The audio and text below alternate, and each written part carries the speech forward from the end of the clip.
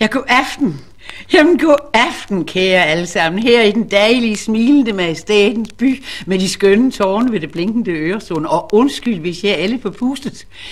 Men jeg kommer lige direkte over fra det herlige, glade Fyns land.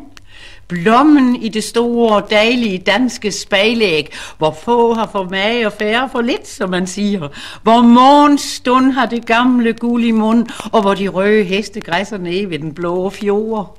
Hvor mosekongen brygger, mens troldpigen nænsom forfører flintsønderne til de malmfulde toner fra klokken på Solbjerg.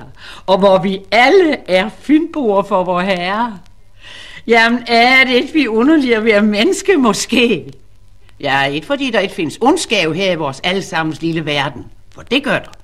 Vort liv, det er jo netop en stadig kamp imellem det onde og det gode, sandt? Men bare i det ondskaben for overtage, så ved vi jo nok, hvad der sagde i sidste kapitel, heldige viste. For hvor tisler og morgen jomfruer, de vokser sige om sige, der ved en jo nok, hvem der bliver knaldet til sidst. Og nøjagtigt lige den er det mellem mennesker. Den onde kal på gården der, her kan være lejfig nok og svær nok at klare sig lige i høsttiden, når det nyslåede hø stakkes og lukker. Men gud, her har nu alligevel altid en stige i baghånden, han kan drætte ned og knække halsen på. Ligesom han har taget det sidste strøg på den nye kalkede længe med det stråtægte tag. Under vis lange, gule, skærmende strå, luften stolte sejler med splitflav på halerne bygger lune ræger. Og hvor de dunende små, de pip pipper med deres små opspilte næb op mod den høje, blå, skyfri himmel, hvor solen skærer og skærer med sine varme stråler, mens mor henter regnorm i husbunds snor lige plovfuger. Jo, for Gud her sørger nu altid for at selv den mindste og fattigste lille fugl, den falder til jorden af sult, er der altså så biende koldt i vejret. Og koldt, ja det bliver det jo med tiden, det ved vi. Som rigtig skængerne, knagende kulde, med pur sne på alle de nøgne træers kniblingegrene, og isblomster og roser, og vi åler til mor på de små skæve ruer. Og så kommer da om siger julen. Den velsignede vige jul, med kleiner og kærteløs, og med kirklokker, der ringer fred og forsoning ind i selv det ondeste og hårdeste hjerte. Og se, så er det jo, at mor Karens uægte søn, der blev sendt til Amerika af faren, som var konsul og medlem af byrådet, og derfor med, med en nø ville have røvet i feltrin. Han dukker pludselig op efter 20 år fra Amerika, der med penge på lommen, og uden at skrive aldrig som maser et ord om det i forvejen. Og han når lige at komme tids nok til at hindre, at den hat sovnfo forsat den for gældte mor Karen ur hendes lille lærklinende hytte. Men sønnen, sønnen han nøjes nu ikke alene med at betale Karens skyld.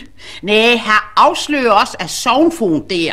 Her har Sal snydt igen mange år i den lokale sygekaskas, så alle sovnes gamle og syge, de har lidt ondt uden at vide men han snyer nu også selv lidt sådan der. Så jeg lærer bare her, altså. For da de to sitter sammen juleaften i morkarens trange, men nu alligevel så rige stue, se så bytter han lige så ubemærket om på risengrøsportionerne, så morkaren får mandlen og knuser en tåre. Og se, så bliver der råd til både flæskesteg og den rødeste røde rødkål, Karen i alle sine livskabte dage har set. Og da så skovrigerens lille enger kommer til og inviterer på kanfart med den viskimlede, se, så kender tårn over hovedet ingen ende. Og så går det i flyvende fart under måneskin og bjælleklang, ind gennem birktræerne, der tyste nager sig for de kønne, dejlige mennesker.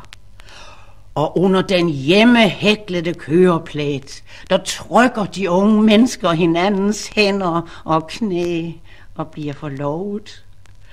Og da de to så kysser hinanden, og et øjeblik glemmer alt, undtagen et, ja, så lukker mor Karen øjnene og sender nu alligevel en tanke til konsulen, trods alt.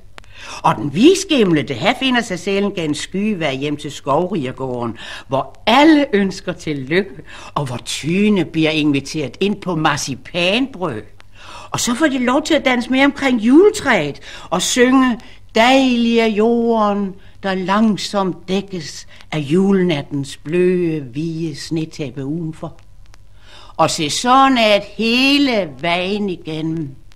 Og alt det, det skal vi huske og alle glemme, at livet det er stort og godt og kønt og rigt, og vi skal sige til alle sortseerne og til alle dem, der fylder os med historier om, at der er problemer nok alle vegne.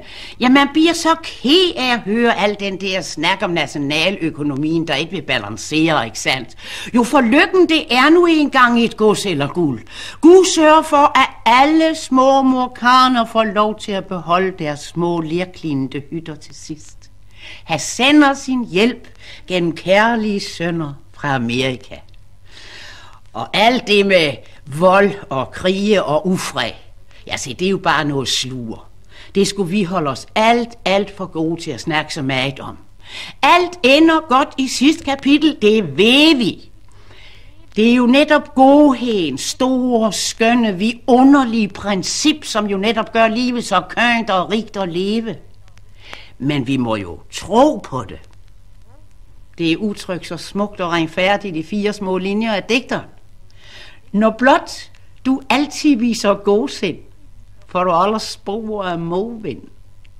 Man kan godt gå rundt i sivsko, blot man har sin stærke livstro.